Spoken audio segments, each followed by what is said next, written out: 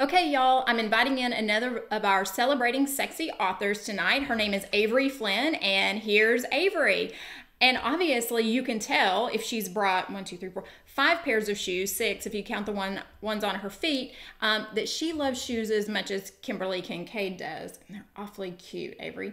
Thanks, Kelsey. Um, I can promise you that the shoes in my closet are way better than the ones you're wearing. Yeah, so I don't have high heels on to be at the party. I have my Uggs on. Um, so, Avery, we know you love shoes. What else do you love? Oreos. If you will send me Oreos through the internet, I will write a sex scene just for you. Wow, now there's an offer. So, um, I love Oreos. I love Avery's shoes, but what I love even more than that is her writing. Uh, the first book of hers that I read was High Heeled Wonder, and it just it, was one of the most entertaining books that I had read uh, right around that time. So it was such a gift. And her most recent series is uh, the Sweet Salvation Brewery series.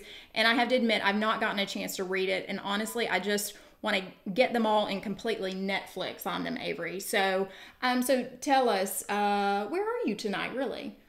Well, besides here, um, I actually decided that I needed to have a life too, and I am currently at a football game.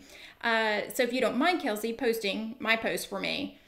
Well, I guess it won't be a problem, Avery. After all, you did send some man candy for everyone. So, but be assured, y'all, that Avery will pop in at some point and comment and say hey. So, Avery Flynn, have a great time, but we know you're freezing your butt off in Syracuse and, uh, or at Syracuse, whatever. And we're all warm and snug at home. Later, y'all.